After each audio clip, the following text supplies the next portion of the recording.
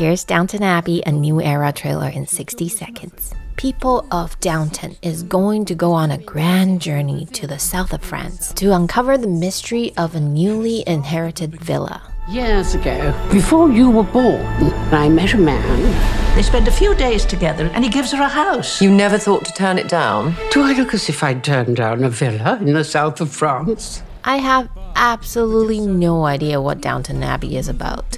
I thought it looked like a period piece of some unrelatable rich family and their first world problems, plus the story of their servants who are more relatable. This is the second movie after the show has ended, so it must be more than that. Cut! Sorry.